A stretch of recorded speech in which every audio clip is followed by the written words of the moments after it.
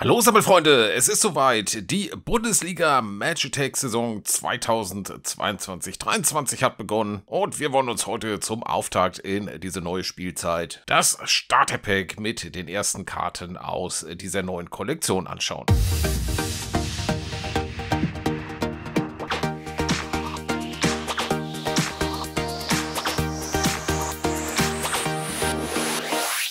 Und damit begrüße ich euch zu diesem neuen Collectors Video mit dem Starter Pack der Bundesliga Match Attacks 2022 Trading Cards von Tops, die gleichzeitig auch das erste Produkt von Tops zur neuen Bundesliga-Saison darstellen. Wir wollen heute anhand des Starter Packs die Kollektion ein wenig kennenlernen. Der ein oder andere von euch wird ja bereits den Artikel auf der Collectors Webseite mit den ersten Bildern und der kompletten Checkliste zu dieser Kollektion gelesen haben. Und wer den kennt, ist eigentlich auch bestens äh, vorbereitet auf diese neue Bundesliga Match Attack Saison. In diesem Starter Pack, äh, das ihr bereits im Bild seht, finden wir unter anderem eine Limited Edition Card von Niklas Süle. Erstmals jetzt im Trikot von Borussia Dortmund. Und den weiteren Inhalt sehen wir, wenn ich das Ganze mal ein wenig hochschiebe, denn diese Starterpacks sind ein bisschen größer als der mir zur verfügende Bildausschnitt. Und hier im unteren Bereich sehen wir es aufgelistet. Zehn Karten sind noch zusätzlich drin. Dazu gibt es noch vier Taktikkarten, eine limitierte Karte und eine Bundesliga-Legendenkarte. Also insgesamt 16 Karten. Und wer diese Bundesliga-Legende sein wird, das sehen wir hier bereits auf der rechten Seite. Kein geringerer als Franz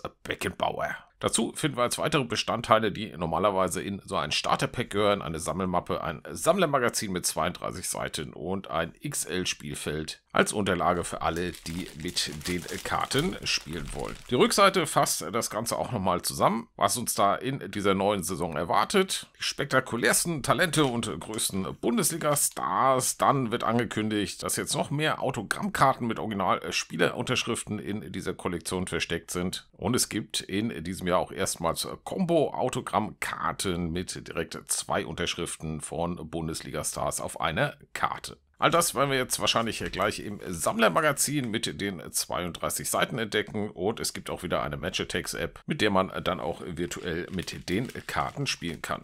Wir sehen hier unten den Preis, 9,99 Euro. Das Ganze ist also 1 Euro teurer geworden als noch im Vorjahr. Was allerdings wenig verwunderlich ist bei den ganzen Preissteigerungen, die wir momentan erleben, war eigentlich schon abzusehen, dass dies auch nicht spurlos an den Trading Card Produkten vorbeigehen wird. So, dann wollen wir mal gucken, ob wir das Ganze hier aufziehen können oder ob das Ganze so gut zugeschweißt ist, dass wir reißen müssen. Und es sieht nach dem zweiten aus. Und dann schütten wir mal alles raus, was in diesem Starterpack enthalten ist. Da haben wir hier zunächst die Rückseite für die Mappe. Dann gibt es die Zahlen zum Aufkleben für alle, die das ein bisschen als Orientierung haben möchten. So, dann haben wir hier, nehme ich mal an, das Spielfeld, genau. Da werfen wir mal schnell einen Blick drauf, denn dann können wir das nämlich schon mal wegtun und haben wieder ein bisschen mehr Platz. Das ist also dieses XL Doppelspielfeld.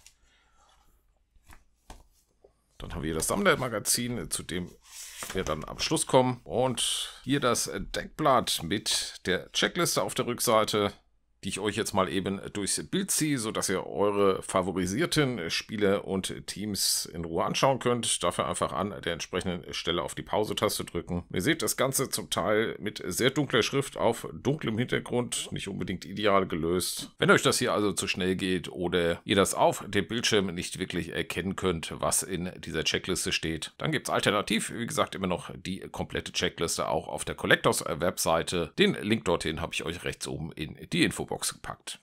So, dann schauen wir uns mal den zweiten Teil der Checkliste mit den restlichen Teams an. Und darunter kommen die ganzen neuen Special-Karten in diesem Jahr. Street Styler, Nitro-Karten. Also einiges an neuen Kategorien, die Top sich für diese Kollektion hat einfallen lassen. Dann haben wir den Block mit den Karten zur zweiten Bundesliga. Und hier unten dann die restlichen Special-Karten sowie die Übersicht über die limitierten Karten und wo diese zu finden sind. Ganz interessant immer noch der Blick ins Kleingedruckte. Nämlich hier links unten äh, seht ihr Redaktionsschluss für diese Kollektion. War am 4. August, heißt also alle Wechsel, die danach erfolgt sind, konnten für diese Kollektion nicht mehr berücksichtigt werden. Und dafür gibt es dann, wie schon im Vorjahr, im Spätherbst ein Transfer-Multipack, mit dem Tops dann die restlichen Transfers aufarbeitet, die nach diesem Datum noch erfolgt sind. So seht, ich habe schon mal begonnen, das Ganze in der Sammelmappe zu verstauen. Denn dann ist das damit auch schon mal erledigt und wir können die inklusive dieser Nummern schon mal zur Seite packen. Bisschen schade, dass diese Nummernaufkleber keinen transparenten Hintergrund haben, denn wenn man sich so einen Aufkleber hier oben beispielsweise in die Ecke packt, dann verdeckt man ja die Hälfte der Karte, die dort einsortiert wird. So, hier haben wir dann unser Kartenpäckchen. Das schauen wir uns zum Schluss an. Jetzt werfen wir einen Blick ins Sammlermagazin, um diese neue Kollektion auch noch ein bisschen näher kennenzulernen. Wir sehen auf der linken Seite das Inhaltsverzeichnis, dann direkt eine Übersicht, was in diesem Jahr neu ist. Die Social Kings Karten, die Street Styler, die Nitro Karten, Heritage Karten gibt es dieses Jahr zum ersten Mal in der Bundesliga-Kollektion. Und eine ganz interessante Sache ist hier unten für den Adventskalender vermerkt. In allen im Umlauf befindlichen Adventskalendern hat Top Drops goldenen Chip versteckt, mit dem man dann zwei Karten für das Spiel zwischen Bayern und Dortmund gewinnen kann, inklusive Anreise und Übernachtung. Also das ist ein richtig toller Preis, der da in den Adventskalendern versteckt ist.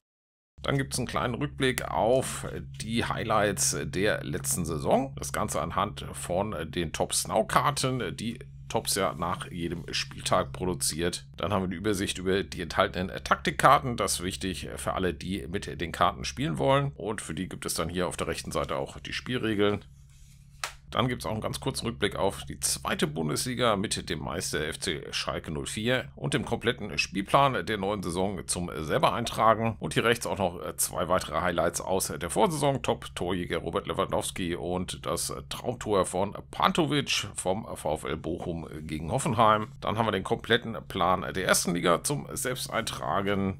Und die Vorschau auf die Base-Karten, die in diesem Jahr wieder einen schwarzen Hintergrund bekommen haben. Und diese ganze Kollektion, wie ihr bereits an der Aufmachung vom Starter-Pack und dem Design der Einleger und dieses Sammlermagazins erkennen konntet, im futuristischen Cyberpunk-Design. Und das zieht sich auch durch die ganzen Karten dieser Kollektion. Sicherlich ein bisschen gewöhnungsbedürftig, aber ich persönlich finde gut, dass Tops da auch mal einen neuen Weg geht und auch mal ein etwas gewagteres Design ausprobiert. So, so, dann kommen wir zu den Special-Karten mit den Helden von morgen, den Nachwuchsstars der Bundesliga, unter anderem mit Paul Wanner, Kevin Schade und Jamie Bino Gittens von Borussia Dortmund. Dann haben wir die Club-Logos, die auf diesem Bild auch schon richtig starken Eindruck machen. Da bin ich gespannt, wie sie dann in echt aussehen. Dann haben wir die Social Kings, die in den sozialen Netzwerken erfolgreichsten Kicker aus den jeweiligen Vereinen. Passend dazu weist Tops natürlich auf die eigenen Social Media Kanäle hin.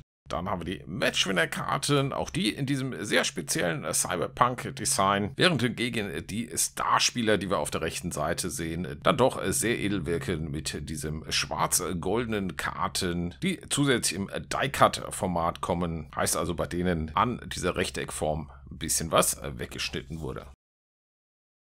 Dann haben wir die Street Style und die Nitro-Karten mit den besten Ballkünstlern und den schnellsten Spielern aus den Vereinen. Dann der Hinweis auf die Match Attacks App eine Übersicht über alle Nationalspieler, die bei der kommenden WM in Katar antreten werden. Dann haben wir die Limited Editions, die in diesem Jahr an das Allen und Ginter Baseball Design angelehnt sind. Also auch ein sehr klassischer Look, den Tops dafür gewählt hat. Und dann haben wir hier auf der rechten Seite die neuen Club 100 Karten mit Nico Schlotterbeck von Dortmund, Kevin Trapp von Frankfurt, Patrick Schick von Leverkusen, Josua Kimmich von den Bayern und Christopher Nkunku von Leipzig. Da könnt ihr gerne mal unten in die Kommentare schreiben, was ihr von dieser Auswahl haltet und wer euch da gegebenenfalls fehlt und wenn ihr stattdessen dann gestrichen hättet. Dann kommen die Heritage-Karten äh, zum 15-jährigen Jubiläum der Bundesliga Match-Attacks-Karten. So lange gibt es die inzwischen tatsächlich schon. Und wir sehen hier, dass Topsun das Design aus der allerersten Saison auf die Karten zurückholt und diese dann aber mit einer neuen speziellen Folie veredelt hat, sodass das, was damals Base-Karten waren, jetzt edle Special-Cards sind. Dann haben wir die Legenden-Karten. Eine haben wir ja schon auf dem Cover dieses Starter-Packs gesehen mit Franz Beckenbauer. Dazu gesellen sich Shinji Kagawa von Borussia Dortmund, Sami Khedira für Stuttgart und Nicole Czernoweski, legendäre mazedonische Nationalspieler vom 1. FSV Mainz 05. Dann kommen wir zu den angesprochenen Autogrammkarten mit Originalautogrammen der Stars und in diesem Jahr gibt es sogenannte Legenden-On-Card-Autogramme, heißt also auf diesen Cards haben die Spieler nicht nur auf Stickern unterschrieben, die dann auf die Karten geklebt werden, sondern hatten die Karten tatsächlich wirklich selbst in der Hand und haben dann auf diesen unterschrieben. Das sind immer Karten, die von äh, Sammlern noch mehr geschätzt werden als die Autogrammkarten mit den Sticker-Autogrammen. Und wir sehen, wir haben hier insgesamt acht Legenden aus der Bundesliga-Geschichte, die auf solchen Karten unterschrieben haben. Und diese sind dann exklusiv in den Mini-Sammeldosen zu finden. Da wird man dann aber ordentlich Glück brauchen. Die Quote werden wir dann wahrscheinlich entdecken, wenn wir so eine Mini-Sammeldose in der Hand haben. Dann die schon angesprochenen Autogrammkarten mit den Sticker-Autogrammen. Seht ihr auch so ein bisschen, dass da so ein rechteckiger Sticker dann auf die Karte geklebt wird. Und da gehört Jamal Musiala sicherlich zu den begehrtesten Autogrammen, die man ziehen kann. Aber wir sehen, dass Tops eine reichliche Anzahl an Bundesligaspielern zusammengetrommelt hat und somit dürfte es auch ein bisschen leichter werden, ein solches Autogramm aus einem der Packs zu ziehen, auch wenn bei der großen Anzahl an Attacks Packs, die unterwegs sind, dies natürlich nicht gerade einfach werden wird. Dann gibt es noch ein ganz besonderes Stück, das ist eine Relic-Karte mit Spänen der Meisterschale Schale, die bei der Gravur des neuen Meisters in die Schale entstehen. Also das auch ein ganz tolles Sammlerstück, von denen es in dieser Kollektion nur drei Stück gibt, die über alle Päckchen verteilt sind. Und hier auf dem Bild sehen wir noch ein leeres Feld. Auf der Collectors Webseite findet ihr bereits eine Vorschau-Grafik, in die diese Späne eingearbeitet sind. Dann die Combo-Autogrammkarten mit den zwei Autogrammen. Da gibt es eine von Dortmund, Bayern, Schalke, Frankfurt, Hoffenheim und Leipzig. Also sechs verschiedene Karten. Die gibt es dann immer nur in den Megapacks zu finden. Und was diese Megapacks sind, erfahren wir gleich bei den Produkten hier auf der rechten Seite, haben aber zunächst noch die Chrome Shield Karten, die es auch erstmals in der Bundesliga-Kollektion gibt. Gibt es ja schon länger in den Champions League-Kollektionen und die gehören dann auch zu den ganz seltenen Karten in dieser Kollektion, denn ihr seht, pro Displaybox findet man nur eine dieser Karten oder alternativ findet man sie in jedem dritten Megapack oder in jeder achten Mini-Sammeldose. Daher sollte man diese Cards auch als extra sehen und nicht als Teil der Kollektion, denn um diese komplett zu sammeln, braucht man schon eine ihre Anzahl an Päckchen. So, hier sehen wir auf der rechten Seite die Produkte. Starterpack, gucken wir uns gerade an. Kartenpäckchen. Dann gibt es dieses, wie gesagt, neue Megapack mit 125 Karten und direkt fünf limitierten Karten. Also gerade wenn man limitierte Karten noch braucht, ist das natürlich ein tolles Produkt. Dann gibt es in diesem Jahr wieder drei verschiedene Mini-Sammeldosen. Onyx, Smaragd und Rubin, jeweils mit 45 Karten und zwei limitierten Karten und den Social Kings Karten, die sich offenbar nur in den Mini-Sammeldosen und im Adventskalender befinden, den wir hier unten sehen. Und der neben den Social Kings Karten auch noch zwei limitierte Karten mitbringt. Und dann haben wir wie gewohnt noch ein Blister und ein Multipack mit jeweils 30 Karten und einer limitierten Karte. Hier auch schon der Hinweis, dass ab November dann dieses Transfer-Multipack kommen wird. Und damit sind wir dann in der neuen Bundesliga-Saison richtig angekommen, zu der wir hier auch nochmal begrüßt werden. Haben jetzt mit diesem Sammlermagazin eine ganze Menge über diese neue Kollektion erfahren und wollen jetzt natürlich zum Schluss einen Blick auf ein paar Cards aus dieser neuen Kollektion werfen. So viel sind es ja diesmal leider nicht, denn auch bei den Cards im Starterpack hat Tops ein bisschen abgespeckt. Also nicht nur der Preis ist hochgegangen, auch ein paar weniger Karten sind drin. Aber wir schauen mal. Vielleicht sind da ja schon ein paar ganz besondere drunter. So, wir beginnen mit einem Code für die Match Attacks App. Den könnt ihr gerne nutzen, wenn ihr da aktiv seid. Und dann beginnen wir mit unserer limitierten Karte von Niklas Süle. Einen richtig tollen Effekt hat, denn in den Hintergrund des Spielers ist so ein leichter Holokreis eingearbeitet. Seht ihr vielleicht, wenn die Karte so ein bisschen im Licht bewegt wird. Und ansonsten richtig schickes Design, das wie gesagt auf diesen legendären Baseball-Cards beruht. Blick auf die Rückseite, so sehen die Karten in diesem Jahr von hinten aus. Und dann kommen unsere ersten Basekarten und die erste Basekarte aus der zweiten Bundesliga, die, wie wir sehen können, leider nicht ganz so toll geschnitten ist. Da hat Tops links fast schon in den Spielernamen reingeschnitten und wir sehen Felix Lohkemper von Nürnberg, der mir jetzt schon so ein bisschen abstürzt. Dann haben wir unseren ersten Bundesligaspieler mit Leonardo Bittencourt von Werder Bremen. Dann eine umgedrehte Karte und das ist unsere Bundesliga-Legende mit Franz Beckenbauer vom FC Bayern München. Dann geht's mit den Basekarten weiter und die sieht jetzt auch schon ein bisschen besser aus. Christian Günther von Freiburg.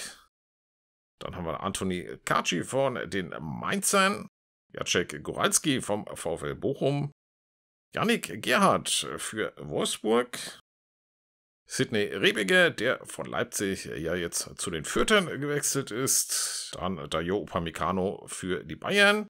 Dann kommen unsere Taktikkarten oder zumindest die erste davon mit der Verletzungskarte. Und es geht direkt weiter mit der Schiedsrichterkarte. Dann haben wir noch die Topformkarte. Und als vierte und letzte Taktikkarte die Managerkarte.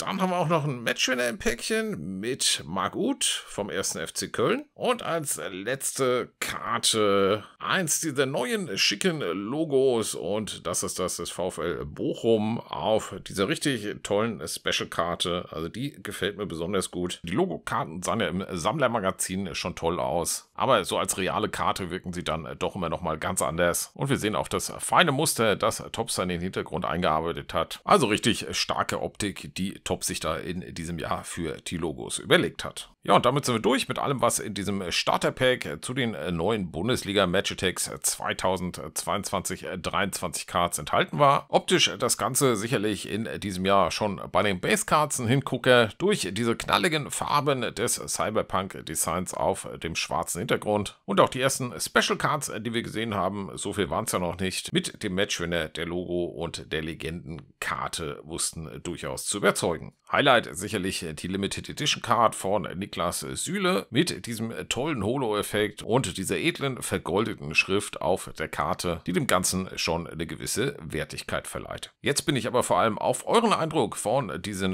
neuen Karten zur Saison 2022-23 gespannt und natürlich auf all das, was ihr sonst so zu dieser neuen Kollektion loswerden wollt. Das Ticket doch jetzt mal unten ins Kommentarfeld, wenn ihr da nicht schon mit angefangen habt. Und wenn ihr damit durch seid, dann würde ich mich natürlich noch über ein Däumchen nach oben für dieses Video freuen. Also zum Abschluss nochmal schnell checken, ob ihr den Like-Button auch richtig getroffen habt. Und wenn ihr die weiteren Videos zu dieser, aber auch zu anderen Sticker- und Trading Card-Kollektionen nicht verpassen wollt, hier aber noch nicht regelmäßig dabei seid, dann gönnt euch jetzt eins der kostenlosen Kanalabos, mit denen ihr beim nächsten Video dann auch direkt mit am Start seid. Bis dahin, macht's gut. Tschüss.